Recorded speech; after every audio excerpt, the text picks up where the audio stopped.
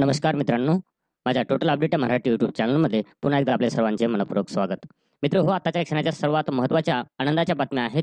Positive बातम्या आहे मित्र हो. सर्वांना दिलासा देणाऱ्या बातम्या आपण आज दिवसभरातल्या पाहणार आहोत. बस रेल्वे लसीकरण कर्मचाऱ्यांच्या डी मध्ये झालेली वाढ. तुमच्याकडे वाहन असेल तर वाहनासंदर्भात एक सर्वात मोठी बातमी शासनाने जाहीर केलेली आहे. या सर्व बातम्या मित्र हो, आपण फटाफट एका मिनिटात पाहणार आहोत. तत्पूर्वी आपण जर आमच्या चॅनलवरती नवीन असाल तर अशाच प्रकारचे नवनवीन अपडेट सर्वात अगोदर तुमच्यापर्यंत पोहोचण्यासाठी आमच्या चॅनल सबस्क्राईब करून घ्या. चला मग सुरू करूयात.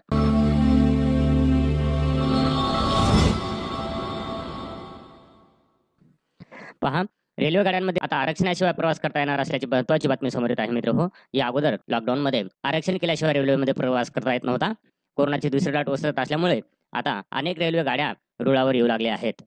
उत्तर पश्चिम रेल्वे नियमित गाड्यांऐवजी विशेष गाड्या सोडण्यास भर देत आहे. गर्दीवर नियंत्रण ठेवण्यासाठी सर्वसाधारण तिकीट घेऊन प्रवास करण्यासही बंदी आहे. मात्र या नियमात आता शिथिलता आणण्यात येत आहे. आता चौवेचाळीस गाड्यांमध्ये आरक्षणाशिवाय प्रवास करण्याची संधी उपलब्ध होणार आहे. त्यानंतरची बातमी संपूर्ण कर्मचाऱ्यांसाठी आनंद देणारी बातमी आहे मित्र. हो कर्मचाऱ्यांच्या महागाई भत्त्यामध्ये वाढवणार आहे. केंद्र सरकारच्या लाखो कर्मचाऱ्यांनी निवृत्ती वेतनधारकांसाठी अत्यंत आनंदाची बातमी आहे. जुलैपासून केंद्र सरकारच्या कर्मचाऱ्यांना महागाई भत्ता आणि महागाई सवलत म्हणजेच डी आरमध्ये तीन टक्क्यांनी वाढ होणार आहे. केंद्र सरकार याबाबत विचार करत असल्याचे सांगण्यात आले आहे. मिळालेल्या माहितीनुसार सप्टेंबरमध्ये डी आणि वाढलेले महागाई भत्त्याचा लाभ सप्टेंबरपासून होण्याची शक्यता आहे. हा अहवाल अखिल भारतीय ग्राहक किंमत निर्देशांकच्या आकडेवारीवर आधारित आहे. त्यानंतरची बातमी पहा मित्र हो.